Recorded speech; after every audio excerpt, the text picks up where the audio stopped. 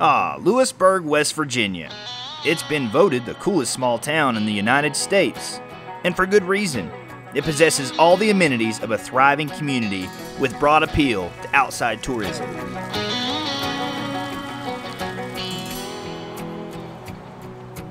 Take a walk down the street and you'll find several coffee shops and cafes, as well as a variety of restaurants to suit whatever your taste might be.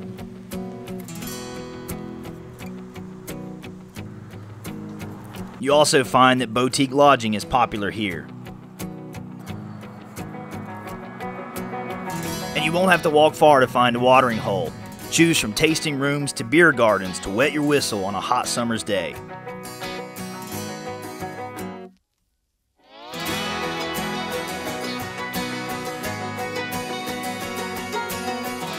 Lewisburg is the county seat of Greenbrier County. Its proximity to the Greenbrier River and the ancient Allegheny Mountains, along with the high mountain valleys here, make it ideal for all sorts of outdoor recreation, from golf to underground cavern exploration. And at one point, a bunch of politicians liked the area so much they hid their secret underground headquarters just a few miles from here. You know, the Greenbrier Resort. Heck, Lewisburg hosts the West Virginia State Fair each year for crying out loud. About a mile outside of town, it's a place people want to be. This, this is Lewisburg. But I want to show you some things here that you might otherwise miss or pass right by and not even know they were there.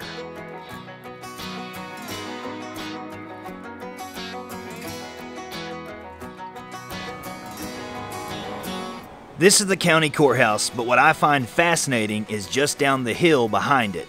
The original spring that was established by Andrew Lewis when he was a young land surveyor in the 1750s. It's been known as the Lewis Spring ever since, but its memory's definitely fading. As I asked around trying to find it, even several locals couldn't tell me what it was or where to look. And here it is, still flowing nearly 300 years later. 20 or so years after the Lewis Spring was established, at this very spot Fort Union was built. From here, colonial frontiersmen rendezvoused and formed an army of over a thousand men under the command of the same Andrew Lewis, who had jumped rank to general. They would eventually march nearly 200 miles through untold wilderness to the mouth of the Kanawha River to meet the mighty Shawnee tribe in the Battle of Point Pleasant.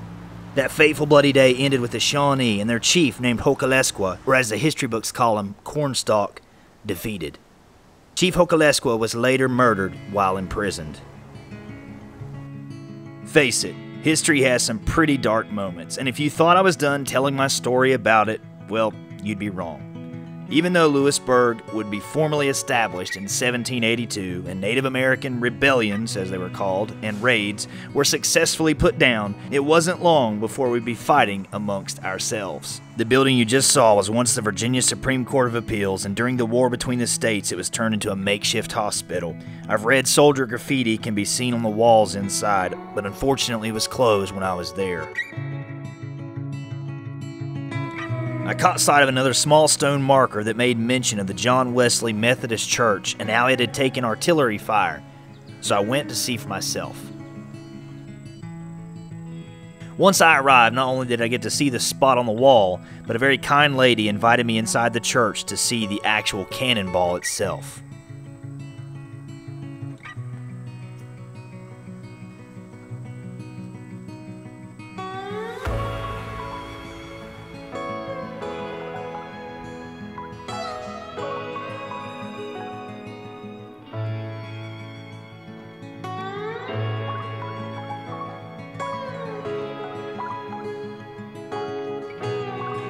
My name is Wanda Coleman. I'm a member here at John Wesley. I've been here all my life. um, I'm just showing a little bit of the inside, and upstairs is uh, where the slaves sit, and white sit at the bottom. And um, we have the cannonball in our possession. And so we're on Historical Society we love this church, and everyone's welcome. After leaving the church, I continued to explore, following old signs and stone markers to my next stop. What I found was a mass grave, the final resting place of nearly a hundred dead, men and boys who fought for the CSA, unclaimed after their deaths at the Battle of Lewisburg. Their bodies were exhumed from the Lewisburg Cemetery and moved to this mass common grave once no one claimed them. The mass grave is 80 feet in length and 40 feet in width, and is in the shape of a cross. Even though the Union won the battle, Lewisburg was sympathetic to the South and would remain a Southern outpost for the rest of the war.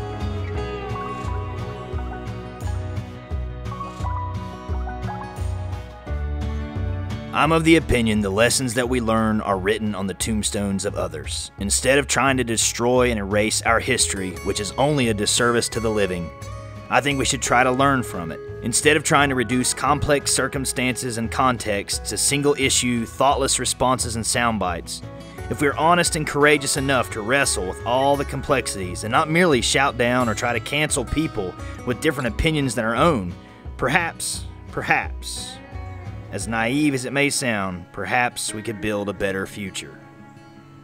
And instead of assigning opinions, if we were to ask them, to be more kind and authentic in spirit, like Wanda, if more of us were like that, the world could be a better place.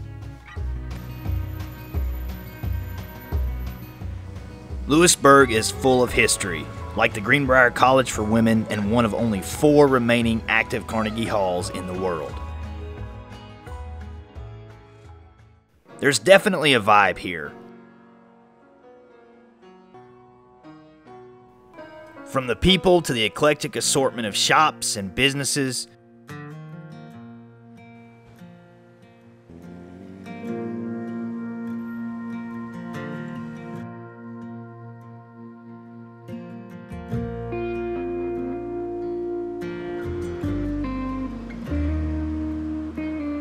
To the many galleries as well as theaters you'll find across town. Whatever you're into, you'll probably find it here, or perhaps you'll find something new.